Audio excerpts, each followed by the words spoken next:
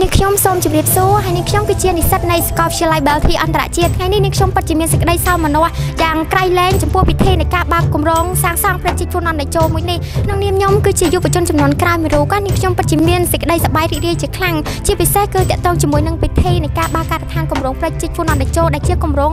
ប្រវត្តិសាស្ត្រមួយរបស់ប្រទេសកម្ពុជារបស់យើងហើយរបៀបថាពិតជារំភើបខ្លាំងមែនទែនដែលមិននឹកស្មានថានេះខ្ញុំបានកើតនៅចំនួនទាន់នៅមលប់សន្តិភាពមួយនេះហើយក៏ដូចជា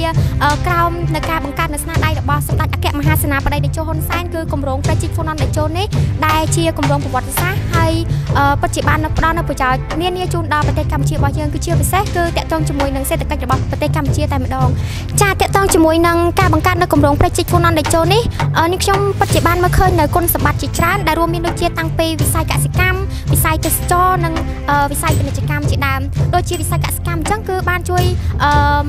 បង្កើននៅឱកាសក្នុងការធ្វើកសិកម្មទៅដល់ប្រជាជនទទួលបានប្រាក់ចំណូលជាពិសេសគឺផ្ដល់នៅទឹក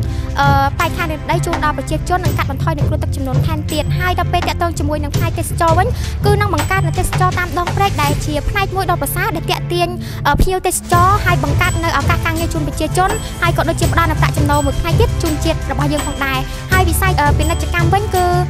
កាត់បន្ថយនៅការថ្លៃដើមនៃការដឹកជញ្ជូនគឺចំណេញពេលវេលាចំណេញថវិកាជាពិសេសនោះគឺអាចធ្វើឲ្យសេដ្ឋកិច្ចកម្ពុជារបស់យើងកាន់តែរីកលូតលាស់និងរឹងមាំជាងមុនថែមទៅទៀតអមក្នុងនាមនាងខ្ញុំគឺជាកូនខ្មែរចំនួនក្រោយមួយរូបនាងខ្ញុំពិតជាមានសេចក្តីសោមនស្សយ៉ាងក្រៃលែងជាពិសេសគឺមានសេចក្តីសោមនស្សរីករាយជាមួយនឹងស្នាដៃថ្មីថ្មីរបស់ថ្នាក់ដឹកនាំដែលសម្ដេចអគ្គមហាសេនាបតីតេជោហ៊ុនសែនក៏ដូចជាបន្តរហូតមកដល់រាជរដ្ឋាភិបាលអាណត្តិទី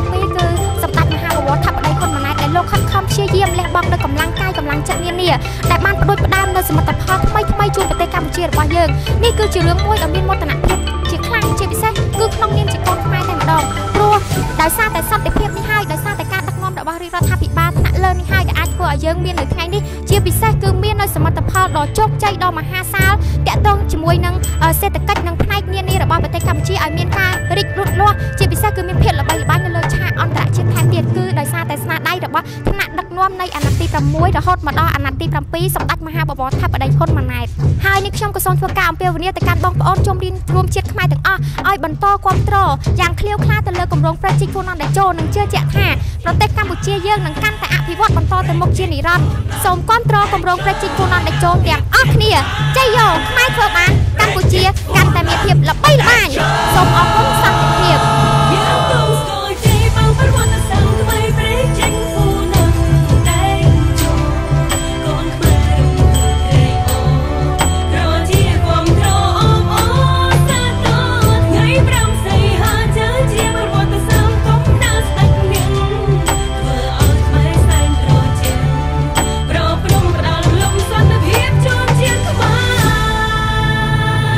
don't score game. Over, won the